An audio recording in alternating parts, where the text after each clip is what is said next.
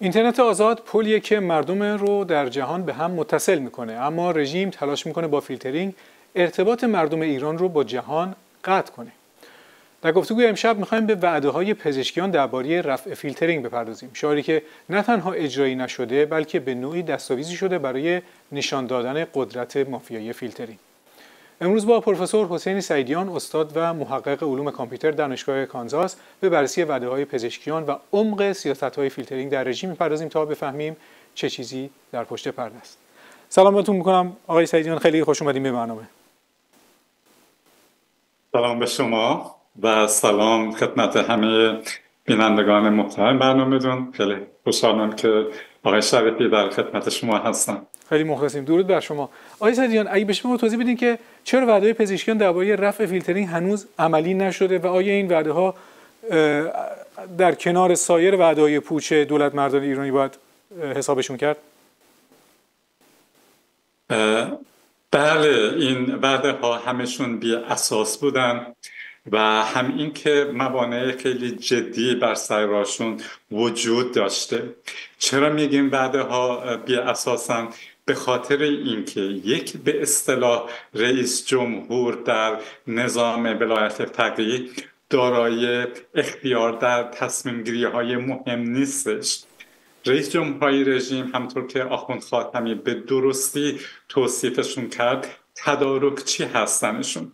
در ساختار سیاسی نظام ولایت فقیه تصمیم گیری در مورد سیاست های مهم سیاست های کلان. از جمله اینترنت در اختیار نهادهای بالادستی مثل شورای عالی فضای مجازی و, و بیت خامنی هستش. رئیس جمهور حتی با وجود حسن نیت که می‌دونیم که اصلا حسن نیت هم ندارن ولی اگر هم که احیانا حسن نیت داشت قدرت اجرایی لازم برای این تغییر این سیاست ها رو نداره و لذا اگر پزشکیان به طور واقعی دنبال رفع کامل فیلترینگ بود ساختار قدرت در ایران به اون همچین اجازه نمیده. به علاوه اینکه سابقه تاریخی این تجربه ها نشون داده که وعده های انتخاباتی در در نظام ولایت فقیه و به خصوص در مورد مواردی مثل آزادی های اجتماعی مثل آزادی های سیاسی اغلب جنبه تبلیغاتی دارن و بلافاصله بعد از انتخابات به فراموشی سپرده میشن. در ضمن به غیر از موانع سیاسی یعنی نظام یعنی اینکه نظام ولایت فقیه به طور اساسی بر علیه آزادی های سیاسی و اجتماعی و از جمله دسترسی آزاد به اینترنت هستش منافع مافیای فیلترینگ هم یکی دیگر از منابع موانع می باشند یعنی وجود شرکت ها و نهادهایی که به طور مستقیم و یا غیر مستقیم به سپاه و به دولت وابسته هستند و از فیلترینگ سود می‌برند اینها همه مانع بسیار بزرگی در راه رفع فیلترینگ هستند خب این فیلترینگ چطور عمل می‌کنه که قدرتش حتی از رئیس جمهور ظاهرا بیشتره؟ یا البته مکانیزمش چیه؟ چطوره؟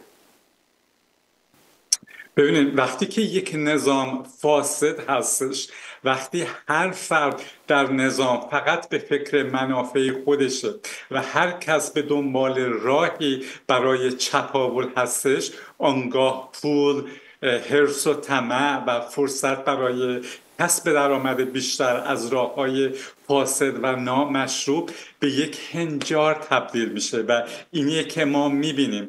مافیای اینترنت در ایران به شبکه از شرکت ها و افراد وابسته به دولت و مخصوصا وابسته به سپاه گفته میشه که از سانسور اینترنت در ایران سود می‌برن. این شبکه شامل ارائه دهندگان VPN سرور پراکسی و و ابزارهایی هستش که به کاربران امکان میده که فیلترهای دولتی ها دور بزنن و به وبسایت های مسدود شده دسترسی پیدا کنن. لذا فیلترینگ در ایران علاوه بر اهداف امنیتی و سیاسی که بهشون اشاره کردن به منبع درآمد کلانی هم برای حکومت و سپاه تبدیل شده.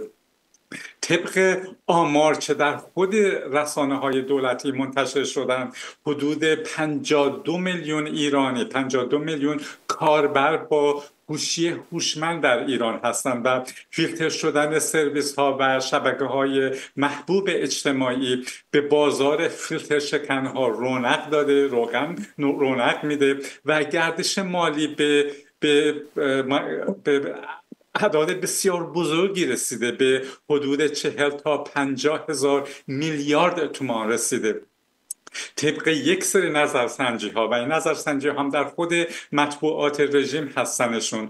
80 درصد کاربران ماهیان 80 درصد از کاربران ایرانی ماهیانه حدود 100 هزار تومان برای خرید فیلتر شکن هزینه می‌کنند که با احتساب افزایش مصرف دیتا سود بسیار هنگفتی را نصیب این شرکت های مخابراتی و مافیای فیلترینگ می‌کنه.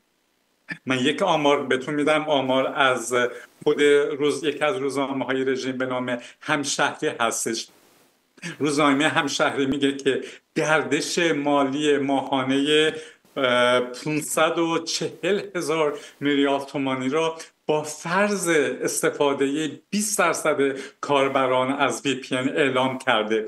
اما این آمار نشون میده که این آماری که بقیه جا چاپ کردن نشون میده که این رقم بسیار بزرگتر هستش.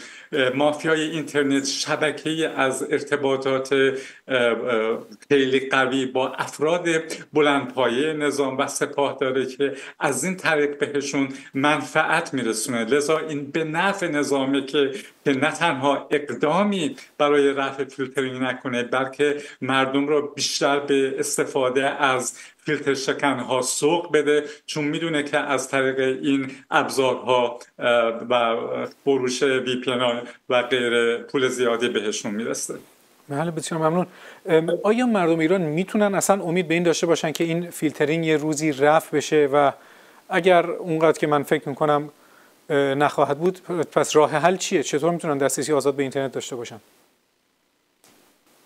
بله همطور که شما هم حد زدین به نظر من و طبق مشاهداتی که همه ما در این چهل و چند سال داشتیم رژیم ایران اساسا اساسا مخالف آزادی و خواهان ساسور و خواهان کنترل شدید اطلاعات و محدود کردن آزادی های فردیه و به, به اینترنت آزاد به عنوان یک تهدید بسیار جدی نگاه می‌کنه. سردمداران رژیم از جمله خامنه ای و بقیه آیت الشیطان ها و امام جمعه های خامنه ای بارها ضدیت خودشون به آزادی اینترنت و آزادی فضای مجازی ابراز کردن. لذا در اون شکی نیست که رژیم اصلا دنبال به وجود آوردن همچین آزادی های نیستش. علاوه همطور که قبلا ارز کردم مافیای اینترنت که وابسته به دولت و سپاه هستش قدرتمنده و مانند نحوه کار کرده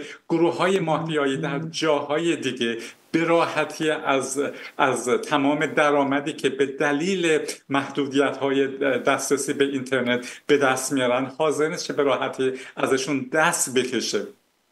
اما قسمت دوم سوالتون این که مردم ایران چگونه می‌تونن با با این محدودیت ها مبارزه بکنن؟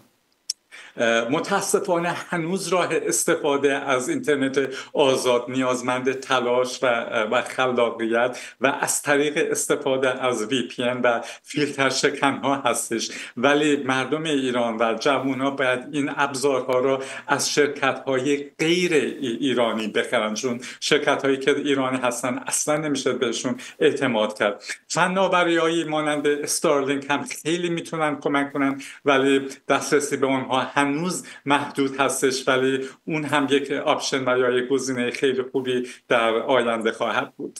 بله بسیار ممنون. و امید میره که در تحولات جدیدی که در آمریکا شاهدش باشیم شاید چه بسا این نور امیدی باشه. بسیار ممنون از دکتر حسین سعیدیان عزیز شرکتتون در گفتگو و مایلم اون چیزی که به خانم شیرین نریمان گفتم به شما هم بگم. خیلی تقدیر می‌کنیم از تمام تلاشاتون و اون چیزی که افکار عمومی آمریکا رو بیداری که الان شاهدش هستیم و شناسایی رژیم به تهدید. در اون کشور هست رو ما مدیون شما هستیم. خیلی ممنون. من منم همطور که خانم نریمان گفتن واقعا ما تمومی از شما هاست که انرژی می‌گیریم. اینه که به قول خانم نریمان ما هممون جزء این خانواده بزرگ مقاومت هستیم و در یک راه مبارزه می‌کنیم و اون هم راه آزادی مردم ایران هستش. از شما و از همه بینندگان محترم برنامهتون خداحافظی می‌کنم. شبتون بخیر. لطف شما زیاد. بسیار ممنون.